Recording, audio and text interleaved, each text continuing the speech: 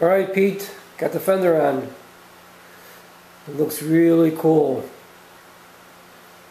Don't like the dirt bike look, but um, that'll be fixed. But as far as the way the fender looks on the bike, you did a great job there. Love it. Won't be doing it too soon though because uh, I have to get back to the front and get this brake and front wheel set up here.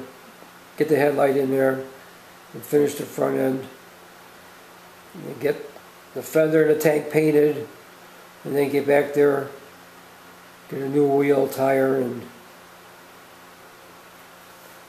work with the fender. But I like the way it looks. Even though there's no tank or, or front fender on this thing, still makes the bike look like it's ready to jump out. So uh, thanks a lot again.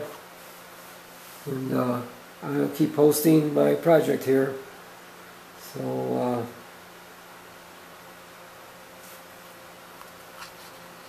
uh, later.